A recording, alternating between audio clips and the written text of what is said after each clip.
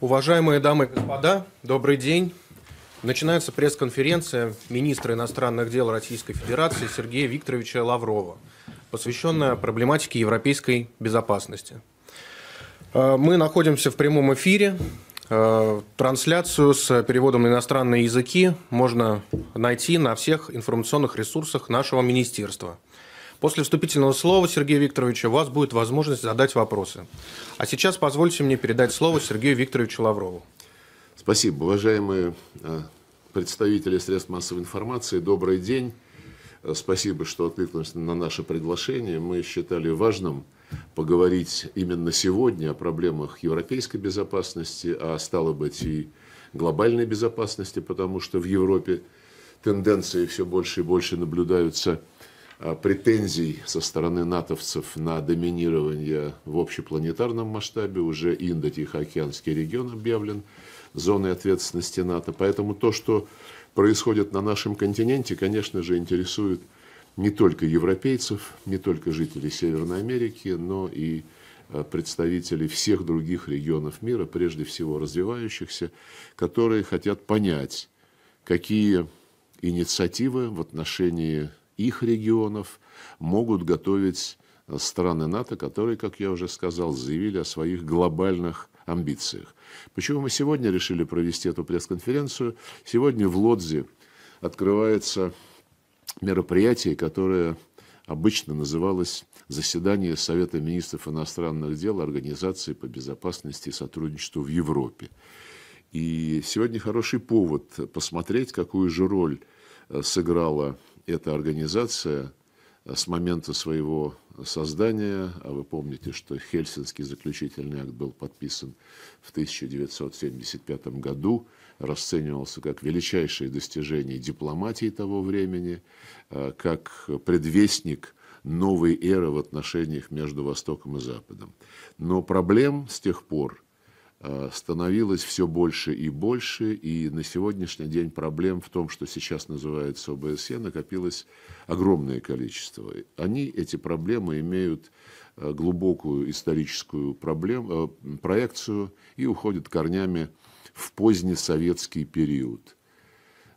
Конец 80-х, 90-й год, когда количество упущенных возможностей – превысила все мыслимые ожидания самых пессимистично настроенных аналитиков. Вот давайте вспомним 1990 год. Это предвкушение окончания холодной войны. Многие даже провозгласили уже в то время окончание холодной войны. А, предвкушение а, всеобщего погружения в общечеловеческие ценности, получение всеми так называемого дивиденда мира. А, Причем а, вот в тот самый год, 1990 проходил саммит, тогда еще совещание по безопасности и сотрудничеству в Европе, в ходе которого все страны-участницы, а, включая страны НАТО и страны Варшавского договора, приняли в Париже хартию для новой Европы, которая зафиксировала, я цитирую, завершение эры конфронтации и раскола континента, провозгласила ликвидацию барьеров для построения подлинного общеевропейского дома без разделительных линий. 90-й а, год, не забывайте, 90-й год прошлого века. И, казалось бы, если пришли все к таким а, правильным декларациям, что же помешало их выполнять? Помешало прежде всего то, что Запад не собирался предпринимать никаких шагов, чтобы эти красивые э, слова, красивые обязательства э, превращались в реальные дела. Э, мне кажется, можно с уверенностью говорить, что Запад в то время подписывался под такого рода лозунгами, прежде всего в расчете на то, что наша страна никогда уже не вернет свои позиции ни в Европе, ни тем более в мире. Э, исходил из того, что наступил, э, как вы помните, говорили тогда, конец истории, и теперь э, все будет по правилам либеральной демократии. Так что можно расслабиться, можно обещать что угодно. Эти красивые лозунги повисали в воздухе. Кстати, вот интересный а, факт э, из из того периода на завершающем этапе саммита совещания по безопасности и сотрудничеству в Европе в Париже в 1990 году госсекретарь Джим Бейкер предупреждал тогдашнего президента Соединенных Штатов, что реальную угрозу НАТО может представлять именно СБСЕ, Совещание по безопасности и сотрудничеству Европы. Я понимаю Джима Бейкера. Это на самом деле так. Когда завершалась холодная война, многие э, здравомыслящие, дальновидные политики и политологи говорили о том, что лучше бы сейчас отказаться не только от Варшавского договора, который к тому времени уже исчез, но и от НАТО, и вложить э, все усилия в то, чтобы ОБСЕ стало подлинным мостом между Востоком и Западом, единой платформой для того, чтобы Восток и Запад реализовывали свои совместные интересы на основе баланса этих интересов каждой из э, государ... страны-участницы. Но этого не произошло. И, э, конечно же, Запад на деле стремился сохранить свое доминирование – он видел в перспективе воплощения в жизнь вот этих лозунгов о равноправии, отсутствии разделительных линий, барьеров, о подлинной общеевропейском доме, угрозу своим, э, своим позициям, э, которые были нацелены на доминирование э, и Вашингтона, и Брюсселя в то время во всех мировых делах, особенно и прежде всего в Европе. Вот, поэтому вот этот основной инстинкт, который никогда не исчезал ни у американцев, ни у других натовцев, э, объясняет курс на безоглядное расширение НАТО, которое обесценило и основной смысл ОБСЕ как коллективного инструмента обеспечения равной неделимой безопасности и обесценило все те э, красивые документы, которые принимались в ОБСЕ э, с 1990-х годов. А Западу было принципиально важно доказать, кто в доме, в этом общеевропейском доме, который все обязались строить коллективно, кто в нем хозяин. А, и, по сути дела, именно тогда берет начало а, пресловутая концепция миропорядка, основанного на правилах. Запад эти правила уже тогда считал абсолютно неотъемлемой частью Э, своей, своей э, позиции на мировой арене, именно это ощущение о том, что вот эти западные правила могут решать любые проблемы без консультации с кем бы то ни было еще, стали причиной и э, того, что Запад счел дозволенным почти 80 дней варварски бомбить Югославию, уничтожая всю ее гражданскую инфраструктуру, затем под надуманным предлогом вторгнуться в Ирак, там разбомбить э, все, что было необходимо для жизни гражданского населения, для жизнеобеспечения государства, затем уничтожить ливийское государство, ну и многие другие авантюры, о которых вы хорошо знаете. Агрессию по, против Югославии а, мы вспоминаем прежде всего потому, что ее результаты а, аукаются до сих пор – она была грубейшим нарушением хельсинских принципов. И именно тогда, в марте 1999 года, натовцы, а, еще раз подчеркну, желая продемонстрировать свою вседозволенность, открыли ящик Пандоры, растоптав провозглашенные в ОБСЕ устои европейской безопасности. Россия не теряла э, надежды на то, что все-таки нам удастся э, вернуться к истокам хельсинских принципов. Мы продолжали бороться за ОБСЕ. А уже в то время предложили, чтобы на основе Хельсинского заключительного акта сделать юридически обязывающий документ, а именно устав Организации по безопасности и сотрудничеству в Европе. Запад на это не согласился. Но тем не менее, итогом усилий тех, кто честно был заинтересован в общеевропейских подходах к решению всех проблем, удалось принять э, в 1999 э, году в Стамбуле важные документы, в частности, Хартию европейской безопасности, и удалось адаптировать договор об обычных вооруженных силах в Европе.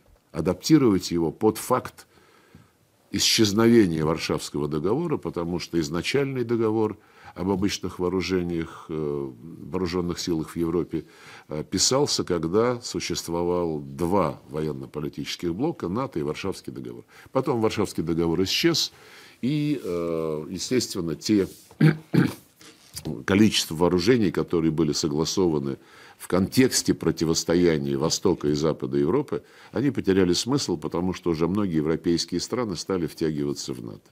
И вот удалось после целых, э, целого ряда непростых переговоров адаптировать этот договор и подписать его в Стамбуле, что э, было провозглашено как, в общем-то, одобрение документа, э, который был признан краеугольным камнем европейской безопасности. Судьба этого документа, к сожалению, известна. Соединенные Штаты запретили своим союзникам ратифицировать адаптированные до все, желая сохранить старый договор об обычных вооруженных силах в Европе, который однозначно после исчезновения Варшавского договора э, обеспечивал доминирование НАТО уже на юридической основе. Э, они запретили ратифицировать э, адаптированный договор, а затем, как вы знаете, в последующий период вышли из договора по противоракетной обороне, из договора о ракетах средней и меньшей дальности и э, в завершении разрушили договор по открытому небу. А ОБСЕ на все на это взирало Э, в общем-то, так сказать, не то что безразлично, но не имея возможности произнести какие-то правильные коллективные слова, не делали этого ни председатели ОБСЕ в то время, ни генеральные секретари. И э, второй документ, который был принят в Стамбуле, Хартия европейской безопасности, э, он подчеркивал, что никто не вправе обеспечивать свою безопасность за счет безопасности других – но расширение НАТО на восток продолжалось, несмотря на э, все вот эти э, декларации, одобренные на высшем уровне всеми членами ОБСЕ. Э, и тогда уже в 2010 году, опять-таки с нашими единомышленниками, которые тоже не теряли надежды на спасение э, ОБСЕ, нам удалось на саммите в Астане еще одну декларацию принять на высшем уровне, которая гласила, что безопасность должна быть равной и неделимой, что страны, да, имеют право выбирать союзы, но при этом они не имеют права делать ничего для укрепления своей безопасности за счет ослабления безопасности других. И еще одна очень важная констатация в той декларации содержалась – о том, что ни одна страна и ни одна группа стран не имеют права претендовать на исключительную роль в сфере безопасности в Евроатлантике. Как вы можете понять, вы все следите за развитием э, событий в последние годы в Европе, НАТО нарушало все вот эти обязательства. Расширение НАТО создавало прямые угрозы Российской Федерации, потому что военная инфраструктура вплотную приближалась к нашим границам. Это было запрещено обязательствами Стамбульской декларации. НАТО однозначно заявила, что только она будет решать, кому предоставлять юридические гарантии безопасности, что тоже было прямым нарушением э, обязательств и Стамбула, и Астаны. Мы ведь, когда поняли, что вот эти политические декларации натовцы просто игнорируют э, и считают себя э, вправе вообще не обращать на них внимания, несмотря на то, что под этими декларациями стоят подписи их президентов. Мы же предложили еще в 2008 году, давайте кодифицируем эти политические декларации, чтобы сделать их юридически обязывающими. А нам ответили, нет, юридически обязывающие гарантии в Европе могут предоставляться только в рамках НАТО. То есть бездумный курс на искусственное расширение этого блока в отсутствие каких-либо реальных угроз для нацовских стран проводился абсолютно осознанно, абсолютно сознательно. Но мы, конечно же, э, помним, как создавалась НАТО, когда первый генеральный секретарь Альянса, господин Смей, вывел формулу «держать русских вне Европы», американцев в Европе, а немцев под контролем. Сейчас то, что происходит, э, абсолютно означает возвращение НАТО к тем концептуальным э, приоритетам, э, которые были выработаны 73 года назад. Ничего не изменилось. Русских хотят держать вне Европы, американцы хотят, да уже поработили всю Европу, а под контролем держит не только немцев, а весь Европейский Союз. Так что никуда после прекращения холодной войны а, философия доминирования, односторонних преимуществ не исчезла. На этом фоне не забудем, что за время своего существования НАТО едва ли а, смогла записать себе в актив хотя бы одну реальную историю успеха. Она несет вовне разруху и страдания. Я уже упоминал агрессию против Сербии, э, агрессию против Ливии э, с уничтожением ливийской государственности, Ирак. Вспомним мы последний пример Афганистан, которому в течение 20 лет Альянс пытался безуспешно привить демократию в своем понимании. И также весьма и весьма красноречивым является тот факт, что не удается решить проблемы с безопасностью в сербском крае Косово, где натовцы тоже находятся уже более двух десятилетий. Ну и в скобках замечу, что если говорить о миротворческих способностях самих Соединенных Штатов, посмотрите, сколько десятилетий США пытаются навести порядок в такой, э, казалось бы, небольшой и подконтрольной им стране, как Гаити. Но это уже не Европа, хотя примеров подобного рода за пределами европейского континента огромное количество. Э, если в 1991 году в НАТО состояло 16 стран, сейчас их уже 30. На пороге вступления Швеция и Финляндия.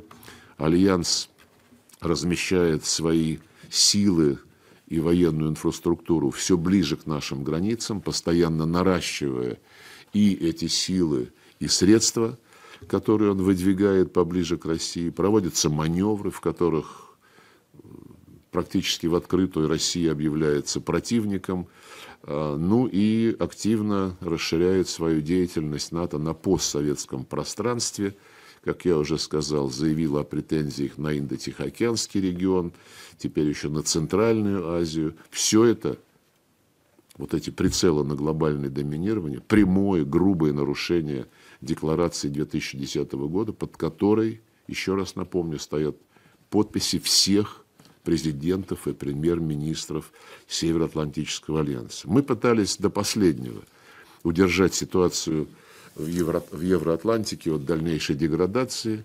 В декабре прошлого года президент Путин выдвинул новые предложения о гарантиях безопасности, проект договора между Россией и Соединенными Штатами и проект соглашения между Россией и НАТО. А, предлагалось в этих документах, в том числе, видя с какой настойчивостью Запад тянул в НАТО Украину, что было очевидной красной линии для Российской Федерации и о чем долгие годы Западу было известно, в этой ситуации мы предложили отказаться от расширения НАТО в тех документах, о которых я упомянул, и договориться о конкретных юридически обязывающих гарантиях безопасности и для Украины, и для Российской Федерации, и для всех европейских стран, для всех стран участниц Организации по безопасности и сотрудничеству Европы. Европы. Никакого обсуждения не получилось. На наш призыв комплексно и творчески подойти к этой ситуации нам твердили только одно. Каждая страна, и прежде всего Украина, имеет право вступить в НАТО. И ничего с этим поделать никто не сможет. А все остальные компоненты, формулы о неделимости безопасности, что нельзя это делать в ущерб безопасности других, Нельзя, чтобы одна организация претендовала на доминирование в Европе. Все эти компоненты компромиссной, единой формулы попросту игнорировались. Так что Вашингтон предпочел в декабре прошлого года не воспользоваться реальным шансом на деэскалацию. А такой шанс был. Э, и такой шанс был, кстати, не только у Вашингтона, такой шанс был и у ОБСЕ, э, которая вполне могла бы способствовать разрядки напряженности, если бы смогла добиться урегулирования кризиса на Украине на основе Минского комплекса мер, который был э, согласован в феврале 2015 года и в том же месяце одобрен единогласно резолюцией Совета Безопасности ООН. Но исполнительные структуры ОБСЕ, э, по сути дела, оказались в полном подчинении э, США и Брюсселя, и США и Брюссель взяли курс на всестороннюю поддержку киевского режима в его политике искоренения всего русского, образования, средств массовой информации, использования языка в культуре, э, в искусстве и в целом в повседневной жизни. Поддерживали западники киевский режим и в его линии на законодательное насаждение теории и практики нацизма, соответствующие законы принимались без какой-либо реакции из просвещенных столиц западных демократий.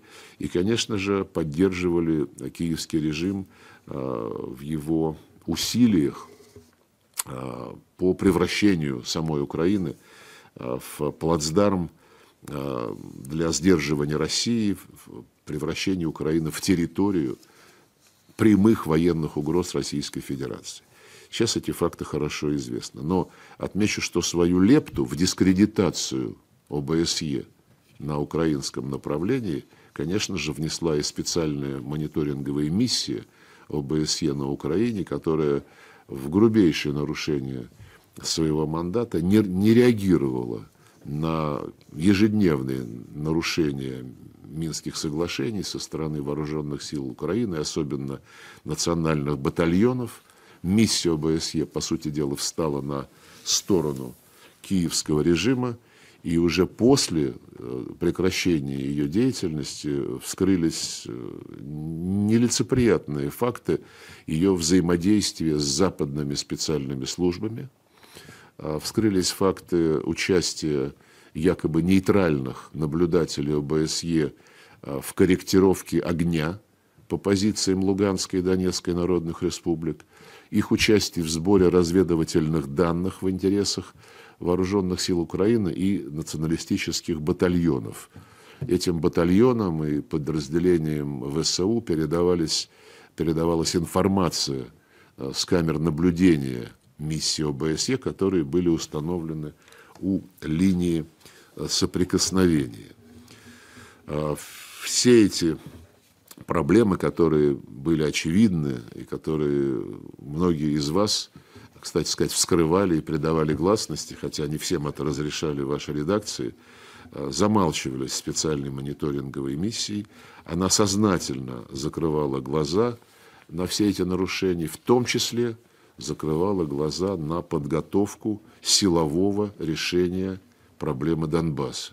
Как это планировал киевский режим, э, отказываясь публично устами и Порошенко, а затем и устами Зеленского, отказываясь выполнять минские договоренности. Запад молча э, потакал э, таким неприемлемым действием. И в середине февраля статистика имеется, ее не скроешь, количество непрекращавшихся все, все эти долгие годы обстрелов территории Донецкой и Луганской народных республик десятикратно возросло. В Россию хлынул огромный поток беженцев. Вы знаете, что происходило дальше. Нам не оставалось иного выбора для спасения жителей Донбасса и для ликвидации угроз безопасности Российской Федерации с украинской территорией не осталось иного выбора, как признать независимость ДНР, ЛНР и э, в соответствии со статьей 51 Устава начать по их просьбе специальную военную операцию для защиты их от нацистов. Э, отмечу, что такая вот линия поведения ОБСЕ, неприглядная линия поведения ОБСЕ имеет свое объяснение пользуясь э, арифметическим превосходством в этой организации, Запад э, уже долгие годы пытается осуществить, э, ну, если хотите, приватизацию, а, наверное, более правильно сказать, пытается осуществить рейдерский захват ОБСЕ, подчинить себе эту последнюю площадку для общерегионального диалога. Был еще Совет Европы, но Совет Европы Запад уже покалечил, э, по-моему, без шансов на выздоровление. Теперь вот под прицелом ОБСЕ. Э, ее полномочия, ее компетенции всячески размывают и растаскивают по узким, неинклюзивным форматам. Вот стараниями Евросоюза э, создаются параллельные структуры, параллельные совещания типа Европейского политического сообщества – а, недавно, 6 октября в Праге, состоялась инаугурационная встреча, и готовя а, эту встречу, объявляя об инициативе создания Европейского политического сообщества, президент Макрон с гордостью заявил, мы пригласили всех, кроме России и Белоруссии. Ему сразу же стали подпевать такие видные деятели европейской дипломатии, как Жозеп Барель, и Анна-Лена Бербок, которые сказали, да, надо строить безопасность не с Российской Федерацией, как к этому призывала та же Меркель, э, кто-то из других европейских лидеров, а надо строить безопасность против России. Изобретаются и другие структуры, чтобы в духе колониального мышления навязать остальным странам конфронтационные подходы, растащить повестку дня ОБСЕ по узким форматам – по различным э, платформам, призывам, партнерствам. Вот недавно, э, ну, несколько лет назад уже, тоже в качестве удара, удара в спину ОБСЕ, Германия и Франция провозгласили инициативу создания альянса мультилатералистов, куда будут приглашать только они сами, кого захотят. Так же примерно, как США приглашают э, только своих людей на то, что они называют саммитом за демократию.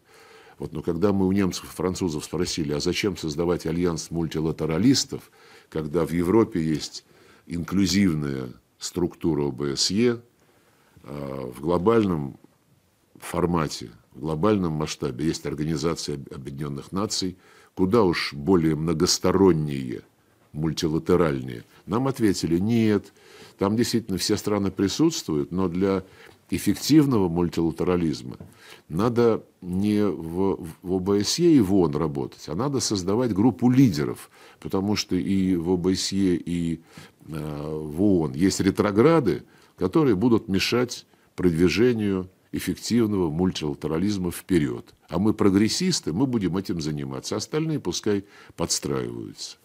Вот такая философия. И, конечно же, это тоже подрыв всех тех э, высоких принципов, на которых выстраивалась э, ОБСЕ. Э, в результате всего этого пространство безопасности в Европе окончательно фрагментируется, а сама ОБСЕ становится, ну так, мягко говоря, маргинальным образованием.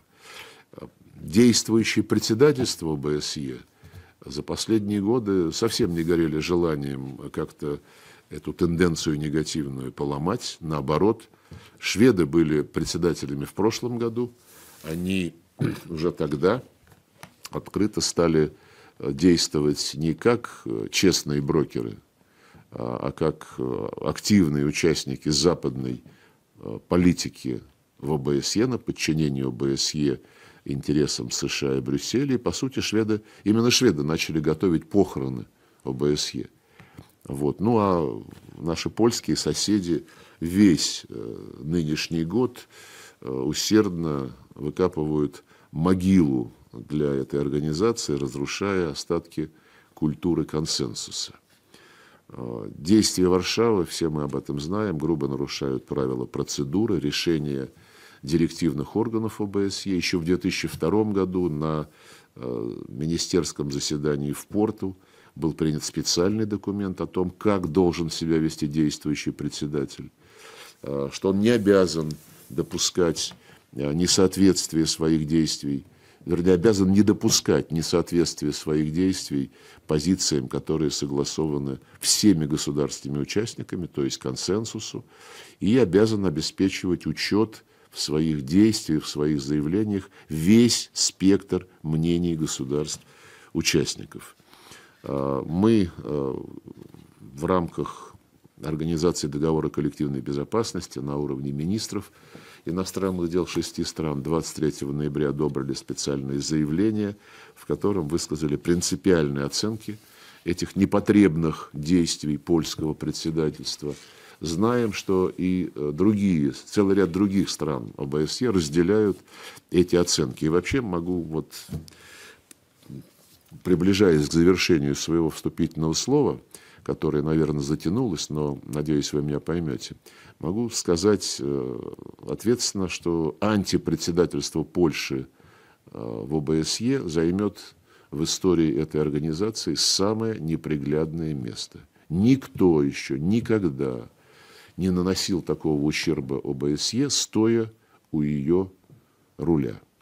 Ну и в качестве резюме скажу, что усилия стран Запада долгие годы были направлены на то, чтобы не допустить выстраивания системы равной и неделимой европейской безопасности, несмотря на все заклинания, которые э, принимались э, в рамках политических деклараций. И мы сейчас пожидаем, пожинаем плоды этой э, абсолютно недальновидной, ошибочной политики. Дух и буква базовых документов ОБСЕ попраны. А, ОБСЕ создавалась в свое время для общеевропейского диалога. Теперь я вам цитировал а, те цели, которые выдвигает и Запад, и председатели ОБСЕ в нынешнем и в прошлом году.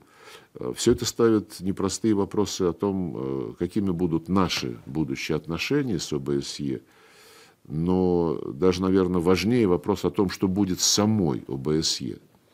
Ясно лишь то, что если и когда в какой-то момент времени наши западные соседи, а от соседства никуда не деться, наши западные соседи и бывшие партнеры а, вдруг заинтересуются тем, чтобы как-то восстановить совместную работу по европейской безопасности – то восстановление не получится, потому что восстановление означает вернуться к чему-то, что было раньше. Но э, бизнеса, как обычно, э, не будет. И когда и если Запад поймет, что все-таки соседствовать лучше на основе каких-то э, взаимосогласованных основах, ну, мы послушаем, что Запад предложит, и ясно, что это должны быть принципиально новые начала взаимодействия, но появится ли возможность для такого взаимодействия в обозримой перспективе, я не знаю. Решать Западу, который систематически все эти долгие десятилетия разрушал все то, что было заложено в качестве принципов функционирования уникальной общеевропейской организации под названием ОБСЕ. Спасибо. Извините за то, что немножко злоупотребил, наверное, э, правом вступительного слова. Готов к интерактивному разговору.